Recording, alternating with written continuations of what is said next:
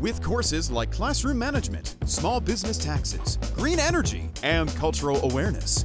There's something for everyone. Visit surgemicrocredentials.com and surge ahead with Saskatchewan Polytechnic.